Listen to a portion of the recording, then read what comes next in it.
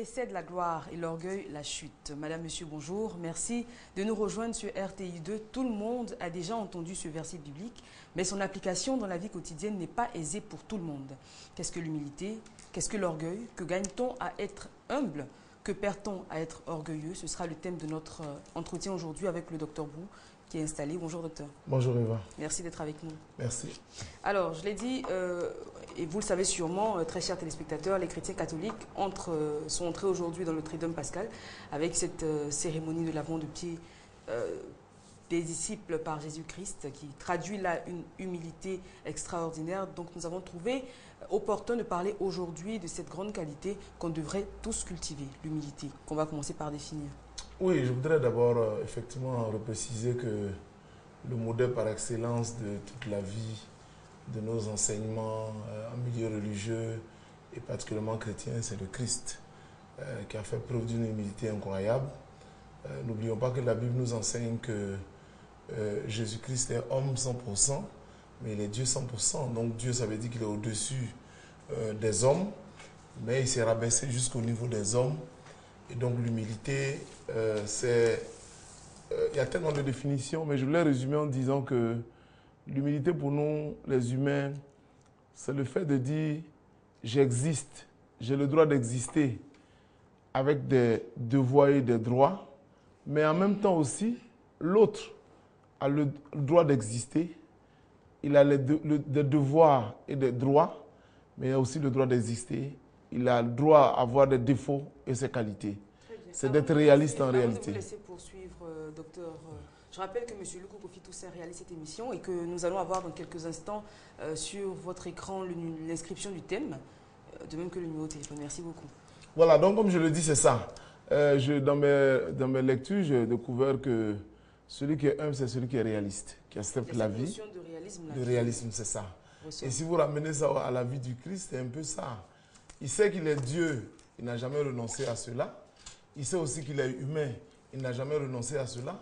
Mais il reconnaissait en ses disciples leur place euh, comme étant des êtres humains, comme étant des gens qui l'accompagnaient avec leur caractère en termes de défauts, mais aussi en termes de, de qualité, en termes de valeur.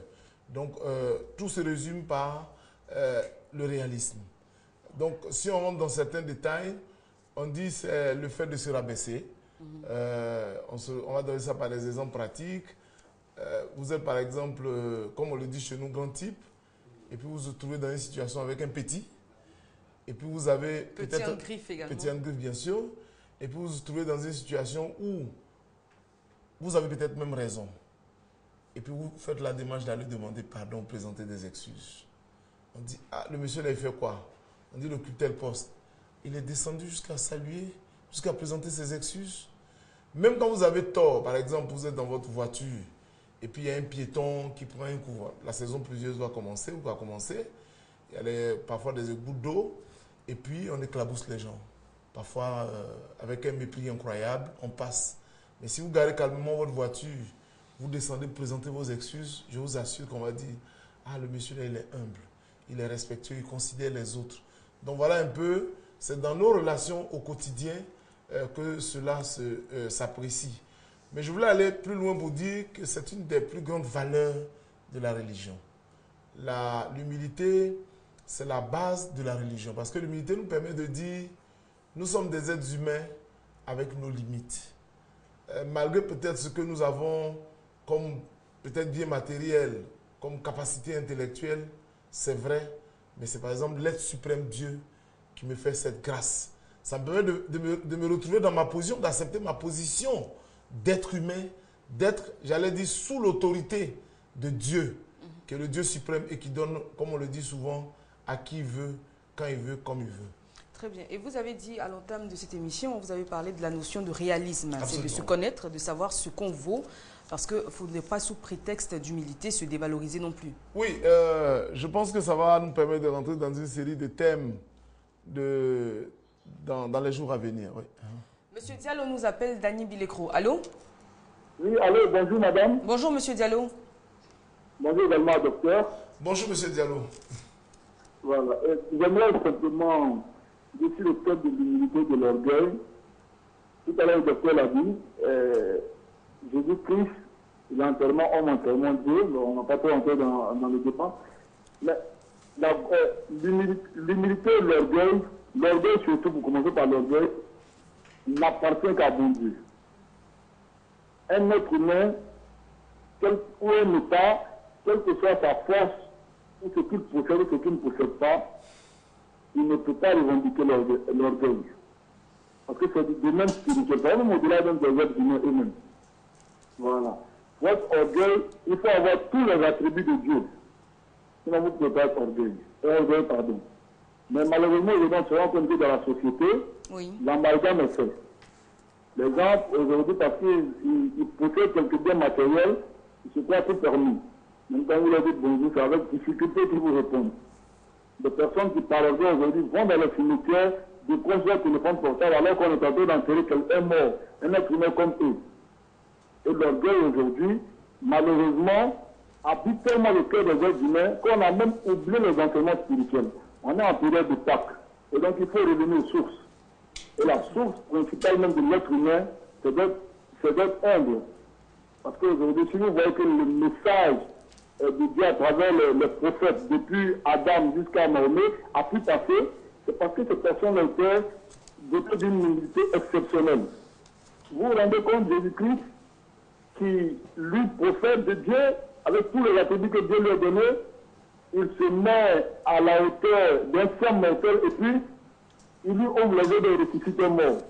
Il faut être un faire. Et donc l'humilité qui possède la gloire, leurre, c'est une vérité. Mais il faut que chaque être humain comprenne que tout ce que vous faites, vous aurez à en rendre compte. Et que l'orgueil a beaucoup de conséquences. Lorsque vous êtes orgueilleux, il y a trop de conséquences. Vous perdez beaucoup dans la vie et finalement vous ne gagnez rien. Merci beaucoup, faut Diallo. beaucoup être euh, humble. Merci beaucoup, Monsieur Diallo. Très bonne journée à vous. Euh, Alors, oui, docteur, on avant revient de donc, répondre à la euh, question, je voudrais dire que l'humilité est la valeur euh, de base de toutes les religions. Euh, que ce soit l'islam ou d'autres religions, j'ai parcouru un document. En tout cas, l'élément qui est partagé comme valeur de toutes les religions, un des éléments, c'est surtout l'humilité. Alors, revenir à votre question, effectivement, l'humilité, ce n'est pas de se renier. L'humilité, ce n'est pas de, euh, de dire que je, suis, je ne suis rien. Non, c'est C'est pas, se déprécier, c'est C'est pas se déprécier. C'est pas se dévaloriser. Euh, parce que quand on se dévalorise, c'est une fausse humilité, ce n'est pas vraiment une humilité. L'humilité consiste à dire Dieu m'a fait grâce, puisque nous sommes actuellement dans euh, la semaine sainte euh, avec le week-end pascal qui arrive, donc avec la résurrection de Christ. Euh, c'est de dire Dieu m'a créé, j'existe, je suis un être humain à part entière, j'ai des valeurs, j'ai des défauts, j'ai le droit de vivre, j'ai le droit d'être respecté, mais j'ai le devoir de respecter les autres, j'ai le devoir d'être écouté, j'ai le devoir d'écouter les autres, etc., etc. Dire que bon, parce qu'il y a des gens qui me disent, euh, moi je ne suis rien, de toute façon dans la vie, hum, je suis rien. oh. C'est toujours les autres, je suis venu accompagner les autres. C'est une, ré- c'est une façon de se renier. Et ça, c'est pas, c'est pas faire preuve d'humilité. C'est bien au contraire, c'est négatif. Ça, c'est vraiment négatif. Donc, l'humilité, c'est de dire, même si je ne suis pas grand de taille, que l'autre est grand, c'est ce que j'ai comme don de Dieu. Si je suis grand de taille, c'est ce que j'ai comme don de Dieu. Si je, je- je suis ceci ou cela, c'est Dieu qui m'a donné l'être suprême. Bien sûr, on ne croise pas les bras pour que tout nous tombe dessus, mais ce que je fais qui se passe bien, c'est pas la volonté de Dieu. De toute façon, la plupart du temps, dans nos discussions, qu'on soit athée, qu'on soit chrétien, tout le monde dit par la grâce de Dieu, par la grâce de Dieu. C'est-à-dire qu'on a tous conscience de l'existence d'un Dieu qui nous, fait, qui, nous, qui, nous donne, qui nous fait grâce d'avoir des valeurs et nous devons les reconnaître. Ce n'est pas faire preuve euh, euh, d'humilité. Très bien. Alors, docteur, vous avez dit tout de suite, hein, certaines personnes ont tendance à se dévaloriser en disant euh, euh, je ne suis rien, je n'ai pas d'argent, je suis là pour accompagner les autres, etc. Et on a le cas des personnes également qui font la courbette à ceux qui sont plus nantis que. Alors, est-ce que être euh, servile, c'est faire preuve d'hum- d'humilité? Alors, euh, être, serviable, Non, ça c'est la servitude. servi- servile. Non, non, c'est pas possible, c'est pas de preuve d'humilité. C'est à la limite, à la limite, c'est faire preuve d'humiliation. Parce que je disais tout à l'heure, il faut faire la différence Normalement, l'humiliation, C'est rendre humble. c'est amener quelqu'un à être humble. Mais dans l'entendement populaire, quand on dit humilier, c'est un sens très négatif aujourd'hui. C'est une manière de déconsidérer, de dévaloriser quelqu'un. Donc c'est une auto-humiliation euh, à la recherche d'un minimum. Donc on est, on est prêt à tout, même à faire des choses qui ne sont même pas acceptées par nos valeurs Être éducatives. n'empêche pas d'avoir de la fierté. Bon, je pense que comme on parlait de On en- l'orgueil, on peut en parler, on va oui. faire, euh, Quand on va parler de l'orgueil, on va faire la différence entre la fierté et l'orgueil. Absolument. Et là, on parle d'humilité. J'aimerais qu'on fasse, si c'est possible, docteur, euh, la part des choses entre la modestie et l'humilité. Ou est-ce que c'est la même chose? la modestie, semble-t-il que c'est l'expression, une des expressions pratiques de l'humilité. Mais ils ont mis un griffe parce que euh, si vous approfondissez, quelqu'un peut avoir une fausse modestie. Donc la modestie traduit dans les faits l'humilité, la vraie modestie. Mais il y a la fausse modestie qui est de faire en sorte de donner l'impression aux gens qu'on est humble. Donc attirer l'attention sur nous, euh, des gens qui sont autour de nous pour dire c'est nous on est humble. Ça c'est la fausse modestie. Donc la modestie, pour me résumer, c'est la traduction euh, pratique euh, dans les relations humaines de, l'humilité. Mais il faut prendre un griffe parce qu'il peut avoir de la fausse. Donc, il faut faire modestie. attention également à la fausse modestie. hein, Absolument, il y a beaucoup de fausses alors, modesties. Dans Euh, un, un cas pratique, docteur. euh, oui. Un cas pratique, c'est. Vous savez, parfois, c'est difficile à vue d'œil euh, de savoir.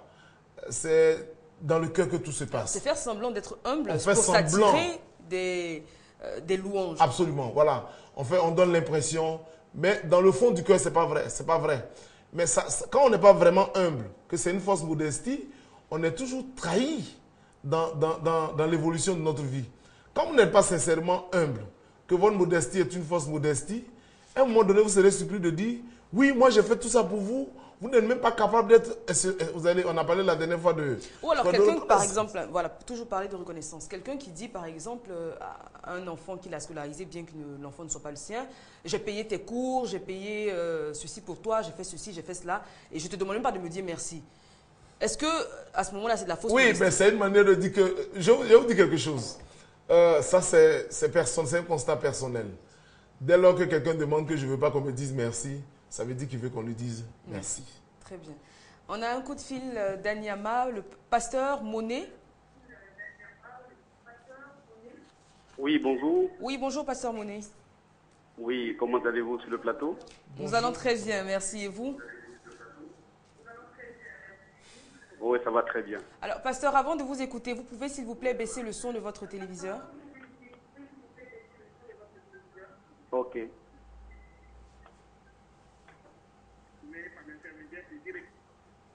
Allô? Oui, allô, oui, je vous Voilà, on vous entend mieux, on vous écoute. Oh, je voulais savoir, je vais poser une question au docteur. Oui, on vous écoute.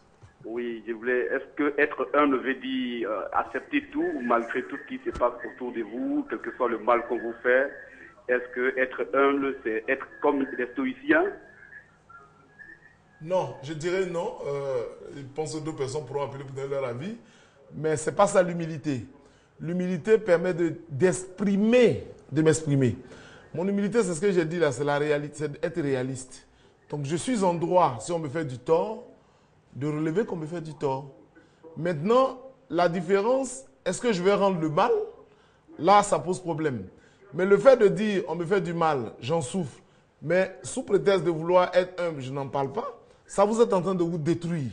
Ça, ce n'est pas de l'humilité, c'est une autodestruction, c'est quelque chose de négatif. Pasteur, vous êtes en ligne? Ok, d'accord. Vous avez une autre question? Oui, oui, je suis en ligne. Vous avez une autre question pour le docteur? Oui, une autre question. Est-ce qu'on peut considérer l'humilité comme une vertu ou un caractère?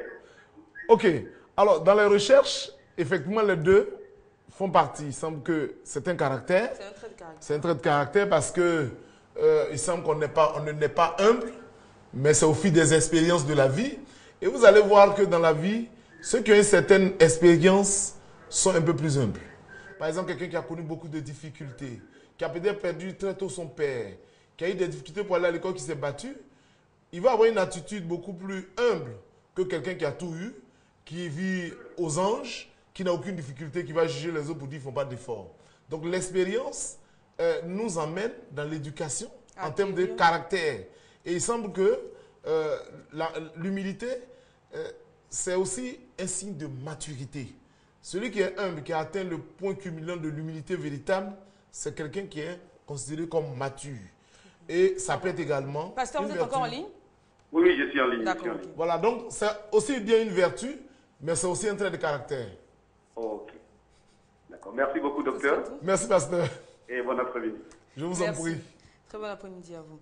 Alors, justement, il a parlé de, de, de tout accepter, là, sa première question. Oui. Et on a parlé de notion de réalisme. De- Parce qu'on- se sait, on, sait ce qu'on vaut, on n'acceptera pas, par exemple, qu'on nous manque de respect, parce que, justement, étant réaliste sur notre propre valeur. Absolument. C'est-à-dire que euh, c'est comme quelqu'un qui dit on peut m'humilier m'humilier publiquement.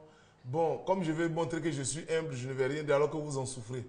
Ce qui est sûr, dès lors que quelqu'un pose un acte en votre direction, que cela traduit un sentiment de souffrance en votre intérieur, vous êtes obligé de vous exprimer. Mais de vous exprimer avec courtoisie. Ne pas le faire, c'est pas faire preuve d'humilité. Peut-être je ne vais pas réagir devant les gens, mais après, si j'ai le courage, je peux rencontrer la personne qui m'a fait du tort, qui m'a causé du tort pour dire Ah, la dernière fois vous avez posé tel acte, ça m'a fait mal. Donc, le fait de tout accepter, ce n'est pas de l'humilité. Même Dieu, puisqu'on a parlé de Jésus-Christ en début d'émission, qui est le modèle par excellence d'humilité, Jésus n'accepte pas tout. En tout cas, dans la Bible que moi j'ai eu l'occasion de lire, il n'accepte pas tout. Il y a des choses qu'il n'est pas d'accord, il y a d'autres il est d'accord. Donc, si c'est lui qui est le modèle par excellence de l'humilité, ça veut dire que l'humilité ne consiste pas à tout accepter.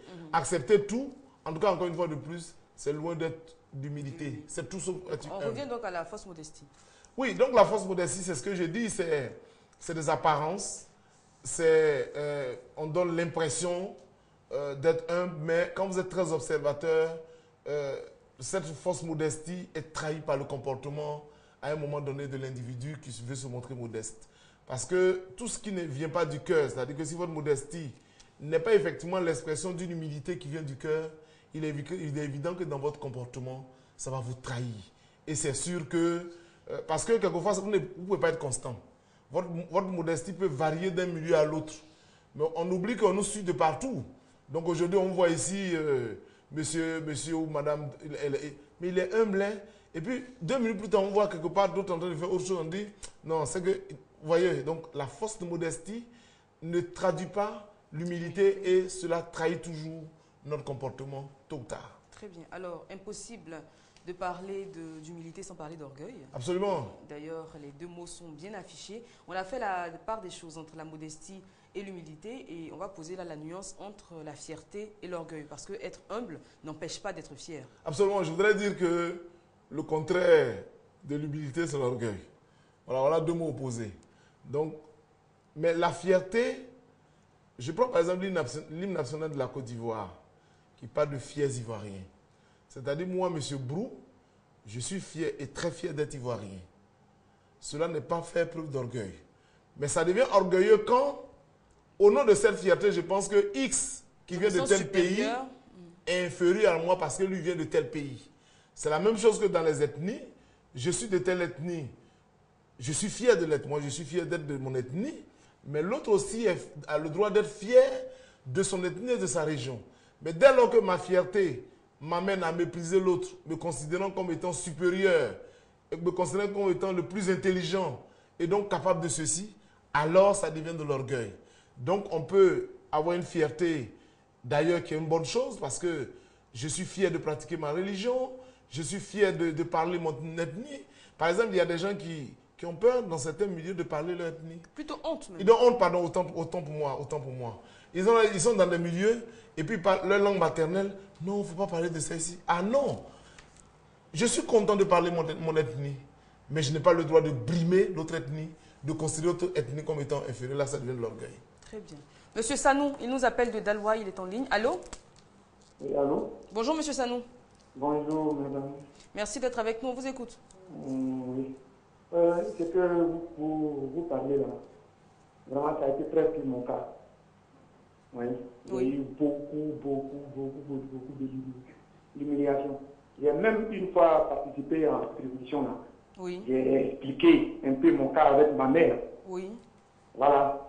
Bon, on a la chose, euh, tout est, pas portable, on ne peut pas tout dire. Mais quand même, je vais rentrer dans certains détails. On vous écoute.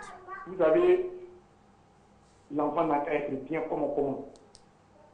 S'il est tout le temps humilié, surtout publiquement, je crois qu'il va finir par réagir. C'est ce qui était aujourd'hui mon cas. On a été écarté, comme la dernière fois, ce que je vous ai dit. Moi, mon père est décédé, j'étais petit. Peu grand, mais pas, pas trop, parce que je ne pouvais pas faire grand chose pour moi. Mais on a été écarté complètement de la famille. Pas par la parole, mais le comportement. Et on nous traitait de tout, surtout moi-même qui n'étais pas aujourd'hui, madame. On m'a traité de brigands. Tout. Or, pendant ce temps, j'ai lutté pour ma mère, pour mon survie. Ma propre famille. C'est qu'on allait, moi et ma mère, on allait de l'humiliation à l'humiliation. Par fini, on a fait quoi? Moi, j'étais obligé de me retirer. J'étais obligé de me retirer. Donc, quand vous parlez de ces trucs-là, ça me fait rappeler de beaucoup de choses. Mais comme c'est des trucs qu'on ne peut pas tout dire, voilà pourquoi on, on passe, on coupe, on coupe, on coupe, quand même euh, montrer qu'on veut participer à l'émission. Sinon, madame, l'humiliation, c'est pas bon. D'accord, monsieur Sanou. C'est très, très, très dangereux, madame. D'accord, le docteur a parlé un peu d'humiliation. Le thème aujourd'hui, c'est l'humilité. Et moi, j'aimerais bien vous poser une question. Est-ce que toutes ces épreuves que vous avez traversées vous ont permis d'être plus humble aujourd'hui? Madame. Salut, aujourd'hui, je ne peux pas, tu sais, ce qui est à l'intérieur de l'homme même, on ne peut pas voir. Sinon, ça m'a servi beaucoup, beaucoup, beaucoup, beaucoup de choses dans ma vie. Je peux dire qu'aujourd'hui, c'est ce qui fait qu'aujourd'hui, malgré, je ne suis pas là à l'école, tu avais intérêt à manger pour ta maman, qui va payer ton école. Mm Mais malgré ça, je n'ai pas envie d'être directeur de société. Et partout où je rentre, je n'ai pas de problème avec les gens. D'accord. Il y en a même aujourd'hui où j'habite, je suis dans un village d'été, c'est là-bas que j'ai construit. Il y a quelqu'un qui pensait que c'est par la peur que souvent on me fait des trucs que je ne parle pas. Or, c'est parce que j'ai trop vu. J'ai trop vu. J'ai fait le Mali, j'ai fait la Guinée, j'ai fait le Burkina. Je suis parti jusqu'à frontière Algérie parce que je voulais fuir. Ah. Donc, avec tout ce que j'ai vu dans ma vie, madame, ça m'a servi beaucoup de choses. Ça m'a empêché aujourd'hui de mettre dans mon pied, dans mon pied, dans des trucs inutiles. Et que même quand quelqu'un marche sur mon pied, je suis un pratiquant. Je suis un pratiquant. J'ai la ceinture ma première dame. Mais même quand quelqu'un me provoque, souvent les gens disent non, c'est parce que j'ai trop peur. Mais c'est parce que je me dis qu'en réagissant, est-ce que ça ne va pas me créer des problèmes? Donc, je peux dire que c'est tout ça là, aujourd'hui, qui fait que j'ai pu arriver où je suis aujourd'hui. Aujourd'hui, j'aide mes enfants et parmi mes enfants, en tout cas, on dit je suis dur, je suis sévère, parce que je n'aime pas voir mes enfants, surtout les petits, les moins de 15 ans. À partir de 20 heures déjà, tout le monde à la maison. C'est pour éviter. Et c'est tout ça là qui m'a donné ces idées. C'est pour éviter les problèmes. Je n'aime pas les histoires. Je suis dans mon coin. Même si tu me provoques, peut-être que toi tu vas avoir honte après. Je vais t'expliquer. Sinon, moi, je n'ai pas affaire à toi. Très bien, M. Sanou. Merci beaucoup pour votre témoignage. Merci, merci à vous pour votre témoignage. Mais euh, en même temps, euh, le docteur vous le disait, hein, ne pas réagir chaque fois aux attaques qu'on fait, c'est pas forcément de l'humilité. Il, y a des choses qui sont inutiles. Merci encore, Monsieur Sanou. Alors là, moi, je pense que, docteur, il y a des choses qui sont inutiles. On n'a pas à répondre à tout. Mais il ne faudrait pas tout accepter non plus. Mais c'est ce que j'ai dit, c'est-à-dire que euh, je voudrais, sous réserve de validation certainement de ce thème, qu'on puisse parler de, plus dans la, dans la semaine à venir de de l'humilité à la maturité. Ça, c'est de l'humiliation du moins. Des humiliations comme on arrive à la maturité. Ça, je pense que c'est dans son cas. Mais ce n'est pas de l'humilité forcément quand on ne réagit pas toujours. Madame Guesson, elle est en ligne, elle nous appelle des deux plateaux. Oui. Bonjour Madame Guesson. Bonjour. C'est un plaisir de vous entendre. Vous êtes une des fidèles de l'émission. On vous écoute. Oui. Oui. Oui, Madame Guesson, qu'est-ce que vous avez à dire aujourd'hui Je ne comprends pas tellement euh, voilà, je ne comprends pas tellement. L'humilité. Oui. Et l'humiliation, c'est deux choses différentes. Tout à fait. Moi, je crois que l'humilité, c'est de se mettre malgré son rang social, malgré son état d'instruction, c'est de se mettre au niveau des autres. C'est-à-dire, quand tu es dans un milieu où toi tu es grand type, ou bien toi tu as l'argent, tu te confonds aux autres pour que vous ayez un peu la- le même statut. Mais l'orgueil est que quand tu te présentes net, tu sais, m'as-tu vu? C'est moi, c'est moi, je suis supérieur à celui-là, c'est moi, je suis le meilleur, c'est moi. Et on est en train de penser à soi-même à tout moment. Alors que l'humilité, c'est de se confondre aux autres, de comprendre le problème des autres malgré son rang social bien malgré son niveau de, de, de, richesse ou bien de, de, de- je sais pas. Voilà, donc c'est ça qui est l'humilité, chez moi. Hein. Oui. Mais tu ne permettras pas à quelqu'un de t'humilier en public sans réagir. Donc, l'humiliation et l'humilité, euh, font deux choses très différentes. Donc, c'est ce que j'ai compris. Maintenant, si c'est pas ça, quand vous allez vous exprimer, je vais mieux comprendre. Voilà. Vous avez bien compris, Madame Guessin. Merci beaucoup. Merci pour votre intervention. Très bonne journée. Alors, je- Oui, si, vous me permettez, je ne vais pas faire de débat, mais il y a un, un aspect que je ne partage pas totalement.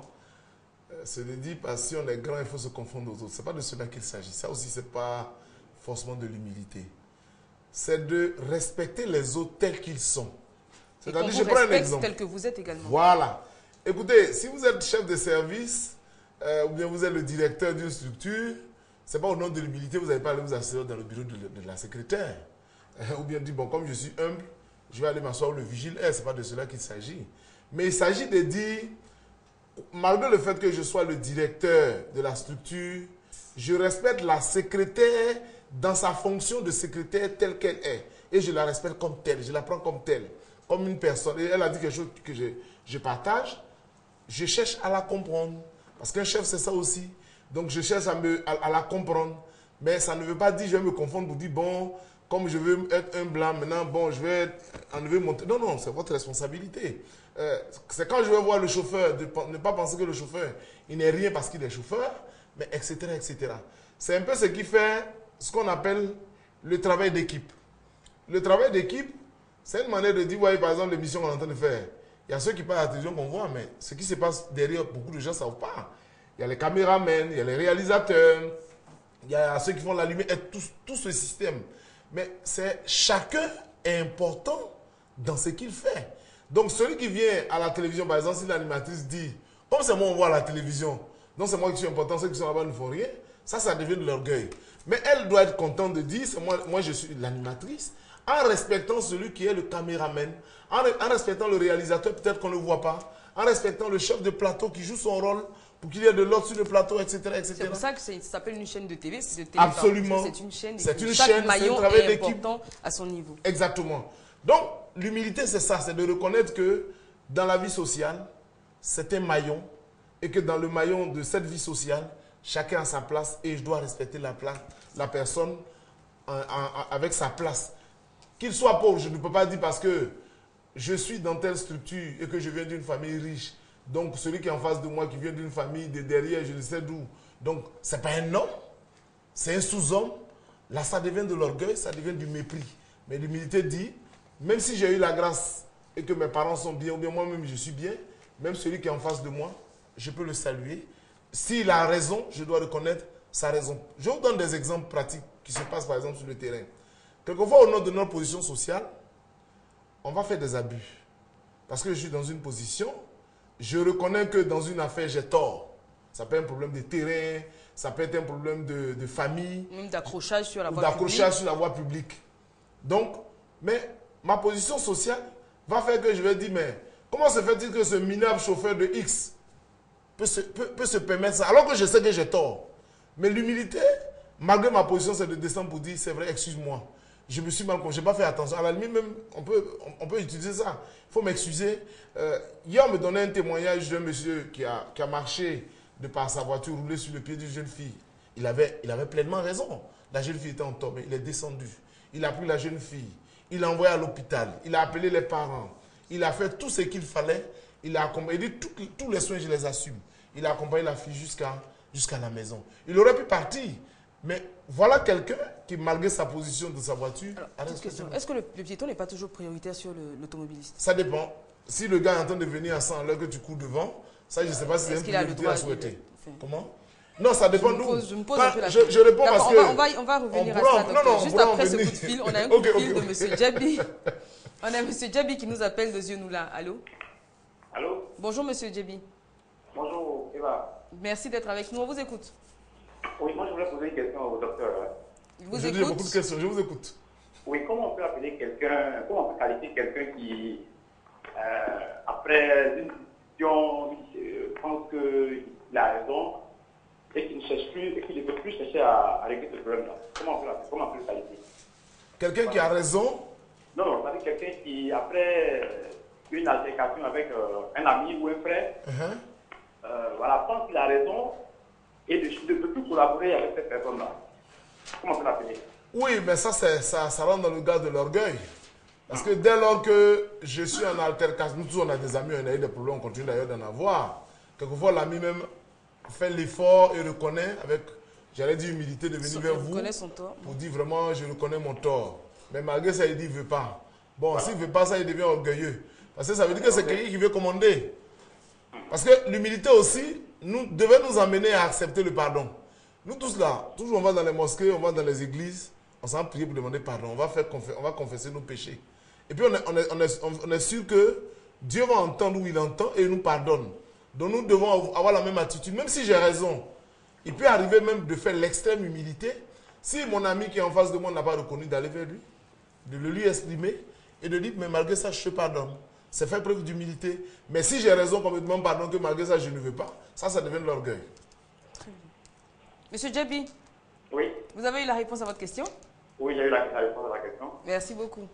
Merci à vous Très également. bonne journée. Oui, euh, on parlait de On problème de piétons. aux piétons et aux. Il y a, il y a les règles, il y a les règles, il y a les codes de la route.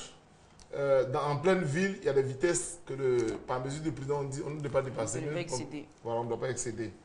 Par exemple, il y a des bandes blanches qu'on doit dépasser. Il y, a des, il y a des endroits où il faut traverser. Tout à fait. Juste Parfois, vous voyez en pleine autoroute, les voies des express, les gens les ponts, ils préfèrent laisser puis passent en bas. Mais quelqu'un qui est en plein parce qu'il est autorisé à rouler à 80, l'accident est intervenu malheureusement. Donc nous devons tous être prudents. Je pense que ça s'appelle le- l'objet de notre débat aux là, il nous sensibilise. Mais je veux dire, la priorité doit se faire aussi avec sagesse. Pas parce que je suis prioritaire et que je ne veux pas observer la, la moindre prudence On fait et puis jamais dit, lancer. on dit la première règle de conduite, c'est la courtoisie. Absolument, donc euh, je suis d'accord. Que ce soit le voisin conducteur ou, ou le, le piéton. il faut être. euh, Très bien. Voilà. Docteur, on va laisser le code de la route et revenir à notre Absolument, sujet du jour, absolument. humilité et orgueil. Alors, on, on l'a dit, humilité et fierté ne font pas forcément bon ménage. Bien au contraire, il faut être humble et fier. Absolument. Je pense que euh, la fierté excessive, ne font pas forcément mauvais ménage, pardon. Ça ne fait pas mauvais ménage. Je pense que ce n'est pas contradictoire. Euh, le fait d'être fier de ce qu'on est, je pense que c'est une bonne chose. Ça, ça permet de dire, on se valorise. Euh, c'est comme par exemple, quelqu'un peut dire, bon, moi j'occupe tel mais moi où je suis là, je me sens bien et je suis content de me sentir bien. Maintenant, quand ma fierté, comme je le dis, va de nature à mépriser les autres, à discréditer, discréditer les autres, à ne pas respecter les autres, à ne pas considérer les autres, en ce moment, ça devient une fierté dangereuse et on tombe très facilement dans l'orgueil. Mais il faut, beaucoup, il faut de la fierté. D'ailleurs, pour avoir une bonne qualité de vie, il faut avoir de la fierté. Je suis désolé de le dire. Quel que soit ce que nous sommes, que nous soyons enfants de paysans ou enfants de grands types, nous devons avoir un minimum de fierté. Parce que la fierté nous permet de surmonter beaucoup de, de difficultés dans la vie. Ça nous permet de faire front à la vie. Mais si on se laisse aller pour tout euh, et qu'on on pense qu'on on- on ne vaut rien, on n'est rien, euh, alors finalement on est, on est vaincu pour la vie. Et il est évident que, euh, comme on le dit, les autres avancent et nous, on recule. Malheureusement. Alors, il y a beaucoup de personnes également qui, parce que les autres sont humbles en face d'eux, se permettent un peu trop de choses. Par exemple, je, Par je exemple, comprends. parce que la personne ne réagit pas, bon, on l'a dit, ne pas réagir chaque fois aux attaques, c'est pas forcément de l'humilité, mais quelqu'un qui euh, se dit que c'est pas nécessaire de répondre à tout. Moi, c'est comme ça que je suis personnellement. Il y a des choses qu'il faut plutôt regarder et puis prendre un peu de hauteur. Est-ce que c'est Oui. de, c'est- c'est de l'humilité, C'est- pas, pas, pas forcément anti-humilité, je sais pas, comment- de l'orgueil. C'est ni forcément humilité, ni forcément orgueil. Je pense qu'il y a un appel après, je vais. Euh, On va revenir à ça donc, docteur. Après ce coup de fil de M. Koulibaly qui nous appelle des deux plateaux. Monsieur Koulibaly, vous êtes là? Oui, je suis là. Bonjour, madame. Bonjour, Monsieur Koulibaly, on vous écoute. Euh, je voudrais poser une question. Au docteur? Je voudrais savoir, parce que j'ai un ami là, Oui, il ne passe jamais. oui. Il ne faut pas quoi Il ne se jamais. fâche- il ne se fâche jamais. C'est une forme d'humilité. Voilà. Et puis bon, il y a longtemps, il y a une expression qui me passe dans la tête Oui, que je ne comprends pas. Oui, Ça n'a rien à voir avec le sujet, quoi. Je voudrais savoir si je voulais demander ça au docteur aussi. oui. Je peux? Oui, Allez-y, allez-y. Voilà, je voudrais savoir, euh, en fait, qu'est-ce que le complexe, en fait, qu'est-ce que le complexe de type Si vous pouvez m'expliquer ça, parce que bon, vraiment, Complexe je de connais l'historique, mais je ne sais pas vraiment dans la pratique. D'accord, ok. On y reviendra. Merci beaucoup pour ces deux questions. Ok, au revoir. Je- La première question, Oui, je vais répondre à la première question. La deuxième, je souhaiterais que peut-être soit dans un autre Oui, cadre. donc la première question, on celui qui ne se fâche jamais. Bon, s'il ne se fâche pas, qu'il n'en souffre pas, tant mieux. C'est-à-dire que dans la vie, on peut avoir. D'abord, ça peut être par, par éducation. On vous a appris à ne jamais réagir, même quand on vous fait du tort. Donc, on grandit avec ça. Quel que soit ce qu'on nous fait, on est là. Ça existe même dans les couples. On a l'impression que l'autre partie est quelque chose, quelqu'un qui ne réfléchit pas très bien. Tout ce qu'on lui fait, on est d'accord. Ça peut être par éducation. Mais dès lors que je ne parle pas, dès lors que je ne m'exprime pas et qu'il y a souffrance intérieure, alors c'est que ce n'est plus une humilité. C'est ça qui est le problème. Mais si je souffre, je dois exprimer ma souffrance. C'est ça le réalisme et qui nous amène à l'humilité.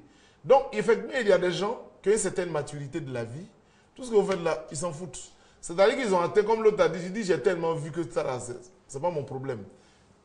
Il est humble à sa, à sa- à sa manière. Mais parfois aussi, le fa- le fait de ne pas parler, ça peut faire de l'orgueil.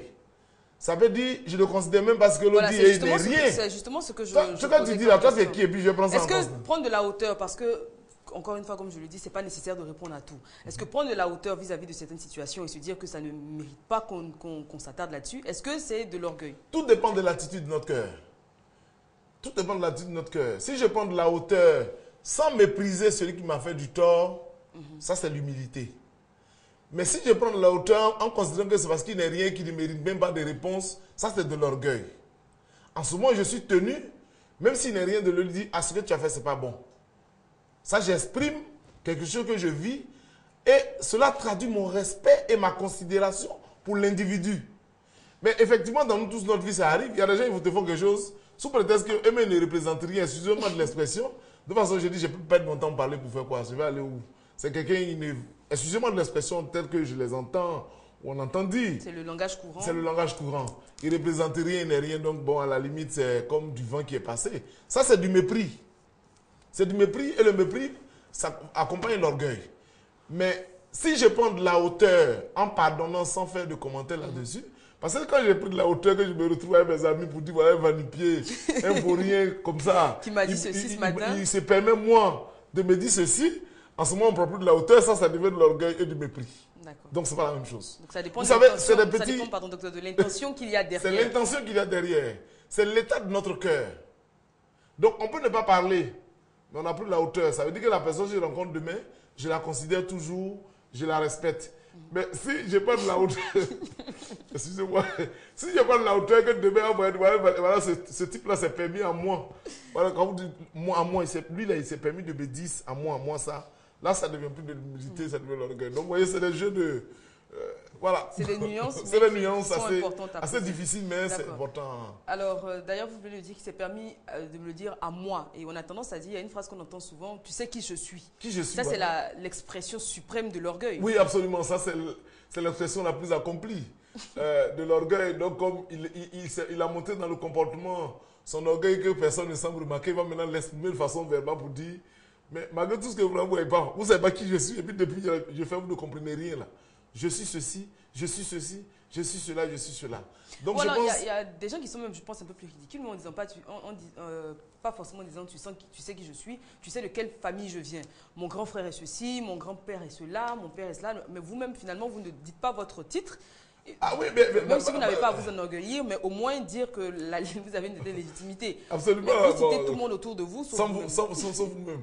Donc, effectivement, ce sont des gens Ça vient une question d'une téléspectatrice qui, dit, euh, qui pose la question comment est-ce qu'on qualifie un, un chef qui injurie ses collègues et qui, qui leur dit par exemple je peux vous faire envoyer car je connais euh, tous les grands de Il est orgueilleux. Je pense qu'on n'a pas besoin de trop réfléchir pour répondre. Il est orgueilleux. Un chef, euh, je pense que j'ai eu le privilège de participer à des formations. Le chef, c'est celui qui respecte, qui donne l'exemple de respect. Très bien. Monsieur est en ligne. Ah oui, Il nous appelle pardon. de Koumassi. Monsieur Cissé? Allô Oui, alors bonjour. Bonjour Monsieur Cissé.